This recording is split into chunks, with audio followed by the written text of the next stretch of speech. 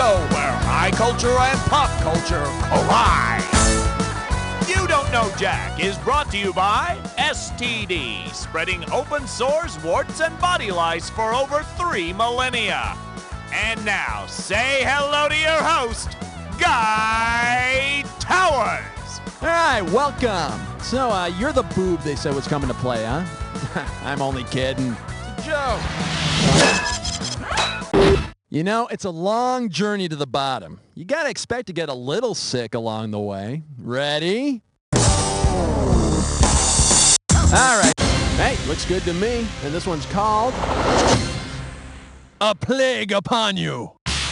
Okie doke. Hey, remember that movie The Omega Man where everyone dies of a plague and Charlton Heston is supposedly the last man on Earth? well, if the Omega Man wants to leave his mark, which symbol should he graffiti on the abandoned buildings? Uh, this thing, uh, that thingy, uh, this one, or that one? That's the Omega Man. It would be tough for Chuck to survive if he were the last man on Earth, but he'd be all right if he stuck to his guns. Hold that buzzer. Let's see how much. Get ready for. El Nino plagued the ancient Egyptians too. All right, pull on your slickers and complete the following sequence. Rivers turn to blood, frogs, lice, flies, death of livestock, blank, blank, blank, darkness, death of all firstborn. Uh, what's missing from this list? Boils, hail, locusts, grasshoppers, drought, wind, rain, mudslides, flooding, or bad hair, chip nails, runs, and stockings. The ten plagues of Egypt included boils, hail, and locusts. And when the eleventh plague that was disco came upon the land, the people of Egypt sang, It's raining men. Hallelujah! How much cash we... All right, some good cash riding on this one. And the category is... You poor sick bastard. Oh no, your doctor just called. You might be contagious, so uh, you're gonna have to be quarantined. Considering the period of time quarantine actually means, who or what might you expect to share your sickbed? A Mardi Gras crew, all of Noah's animals, Jesus resurrected, or lost Israelites? Nah, sharing a bed with Jesus is no fun. He always hogs the shroud. Huh, maybe you didn't see this one. Will you shut up? I'm sick. Come on. Quarantine means 40 days. And after 40 days in bed with all those animals, you may no longer be infectious, but I'll bet you be feeling pretty dirty. All right, Smack. This one will be sending a big shout out to Pasteur. All right, what do we got here? Hey, 5,164 smackers. Well, are we ready? Suppose there were an ad campaign commemorating the three vaccines developed by milk processing legend Louis Pasteur. Which of these would not be the slogan? Got anthrax, got chickenpox, got cholera, or got rabies? Anthrax? No, but I got some Jim Croce on me. Hey, you want a party? Uh, in case you're wondering, got chickenpox? Yeah, thanks to Louis Pasteur. I mean, I don't know anybody who's had anthrax, cholera, or rabies, you know, but everyone gets chickenpox. You know, why the hell didn't he work on that, huh? Useless microbiologist. Hit that. The category is sparkling water with a twist of Lyme disease. Here's the question. Which superhero would angry mobs most likely blame for a Lyme disease epidemic? Spider-Man, Super Chicken, The Tick, or Underdog? The Tick could be blamed for an outbreak of Lyme disease. And his sidekick Arthur would become despondent and fly into the porch light. Tickle your butt. Was a god who sent ten plagues, and frogs were one of them. O F R O G S, F R O G S, F R O G S, and frogs were one of them. Oh. Hop on into frogs. Don't forget, buzz in on the first letter of the correct answer to win the cash. If you get all five letters, you, my friend, get the cash. Let's go. They're not big pox. Smallpox. One, three, five, seven, nine. That counts. Sound a frog makes.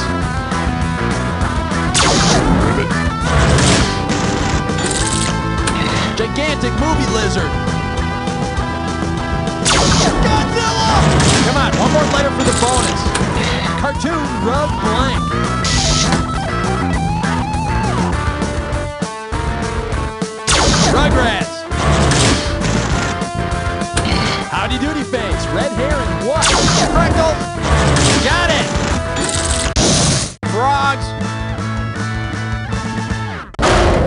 Got the bonus. All right, get a load of you. Ah, let's keep going. All right, buzz in and let's see. This one's called The Junk Food Junkie Look is in. Okie doke. Listen up and buzz in to type the answer when you can tell me. I've got the fever for the flavor of a what? Run with it. Type your answer and hit return. Well, you're wrong, but at least you're not attractive. Ah, too bad you didn't type this. I've got the fever for the flavor of a Pringle. Because, you know, once I popped, I couldn't stop. You know, I tried to stop, but I, I couldn't. I, oh, God, I couldn't stop. How much will the... There you go. Nice. Okay, here's your category. He put his finger in the dike? Hey, you know that little Dutch boy who was a hero for sticking his finger in a hole in a dike? yeah, he still hasn't heard the end of that one. Well, if the little Dutch boy came down with Dutch elm disease, which childish taunt would bother him the most? Liar, liar, pants on fire. I'm rubber and you're glue. There's a fungus among us. Or Whoever smelt it dealt it. Dutch elm disease is a fungus that kills off trees. But if you really want to make the little Dutch boy cry, tell him that he's going to be a fatty, fatty 2x4. Hit your buzzer and snag the cash. And for your viewing pleasure, the postman always leaves the wrong package twice. Okay, suppose your mail carrier has messed up and left somebody else's delivery on your stoop. I know it's crazy, but just imagine it for a second. If this is what the label on the box says, who is this package supposed to go to? Aphrodite, Electra, Hera, or Pandora? Zeus gave Pandora a special box, but told her not to open it lest all the evils of the world come out. so don't open the package, all right? And if you ever get Eve's Fruit of the Month delivery, um, stick to the oranges. How much cash we playing for? Buzz in, find out.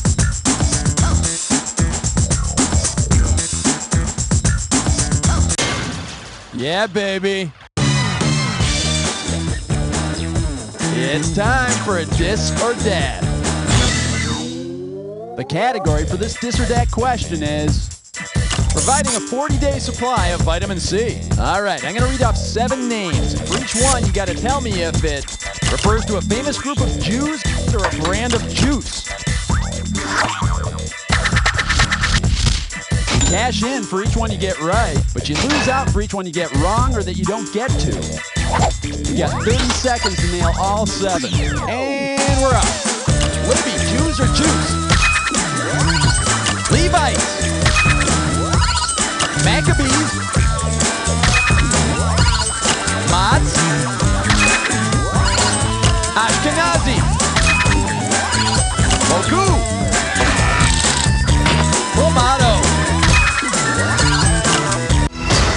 Six out of seven. I'll take that. Okay, my friend, there's your score. Uh, let's see what you can do to it. Hit that buzzer and let's check out. And the category is the only thing grosser than marshmallows and the yams. All right, check this out. Your mom's planning a family reunion, and everyone's invited. You know, cousins, second cousins, uh, third cousins, aunts, uncles, great uncles, great great uncles, carbuncles. So anyway, what fun trick might you expect your carbuncle Bill to do? Make his gangrenous thumb split in two, play got your moles, blow bubbles from the hole in his neck, or pull a quarter out from behind his boil. A carbuncle is a big old nasty boil. Ugh. Ugh. Ugh.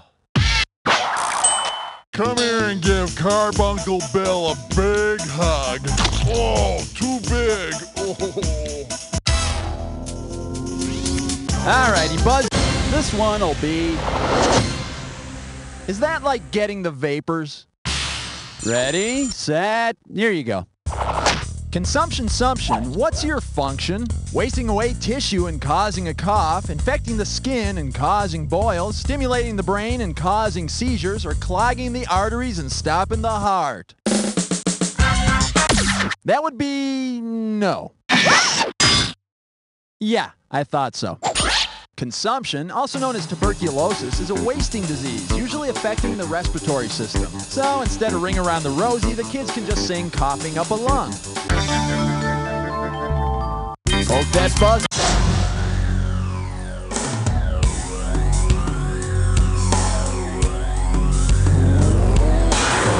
Feeling a little brain dead? Well, here's a clue. Dead were lying around everywhere. Now they just hang out at Phish concerts. Oh. Ah, good luck.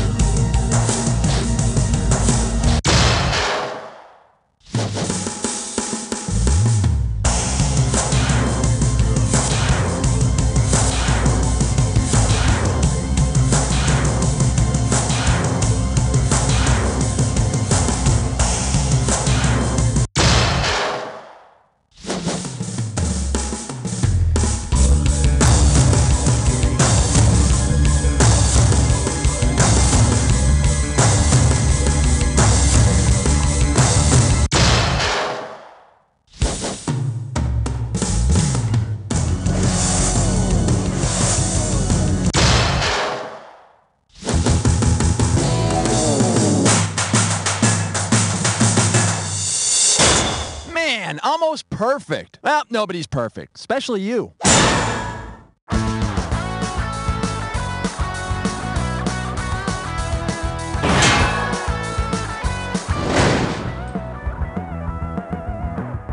Who has time to cook? We don't. We're Sam. And Ella. And we want to invite you down to Sam and Ella's. so you can get you and your family a good home raw meal. Ella's eats Necelius, runny eggs and chickens. Good and raw mayo from a straw. We'll do the finger lickings. We got frog legs and yeast and dry gelatin. You'll uke till you puke in our dirty kitchen. Acute symptoms may last for one to two days, or maybe prolonged depending on host factors and strain characteristics. Salmonellas fill your bellas with spore-forming bacteria. Animal feces, all your favorite species, slides down your throats How many times has this happened to you? Daddy, what's the difference between absolute and relative surplus value according to Marx? Uh, go play with this ball, honey. Middle class buffoon. Well, it won't happen again. Look what I have for you, sugar. The illustrated Das Kapital. Thanks, Daddy. You're welcome, sweetie. The brightly colored pictures help me understand the general law of capitalist accumulation. Uh. And the Uh-huh. pop-up stick figures tell me all about heterogeneous and serial manufacture. Yep. There's even a scratch and sniff chapter about machinery and modern industry. That's right, honey. Daddy, you're the greatest. Now, can you tell me how the expression of female sexuality can challenge the patriarchal order? I love you, pumpkin. The illustrated Das Kapital. Also available, the Gross Anatomy Book of Cutout Dolls and the Kama Sutra playset. This is from my Baptist minister, who instilled in me at a very young age the evils of alcohol, tobacco, and firearms. This is for the kids at school, who by refusing my friendship forced me to adapt and infiltrate any and all social cliques. This is for my older brother, whose bad taste in music gave me a CD collection large enough to drive any person under siege insane.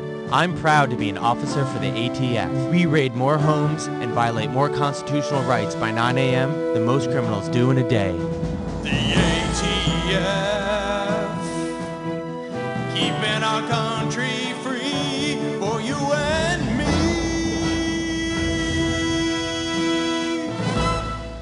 Next week on Hallie McNeil, Hallie opens up about her maternal instincts. Hallie, I had a really nice time tonight. Oh my god, what the hell is that? Oh, that's just the dancing embryo. He shows up whenever I feel my biological clock ticking. It looks like a sick tadpole. I know, isn't he cute?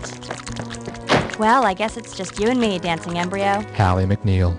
Mondays. Time now for a page from the success journey with motivational speaker and full-time dreamer, Dr. Harvey Bass. Let me tell you the story of a small farm boy from Alaska. He grew up in poverty, often cold, often hungry, many times forced to eat his own hair for sustenance. His father, a proud man, eked out a living raising caribou and selling their hooves to be made into pencil erasers. The father expected his son to take over the family business. Well, this bright, ambitious boy had a different idea. He had what I like to call a dream. The boy, at the tender age of 12, rented a car and drove from Alaska to a small island off the coast of Florida. There, he fulfilled his dream of growing a beard, smoking big cigars, and talking in a funny accent. Yes, that man is better known to you and me as billionaire entrepreneur and respected world leader Wilford Brimley. This has been a page from the success journey with Dr.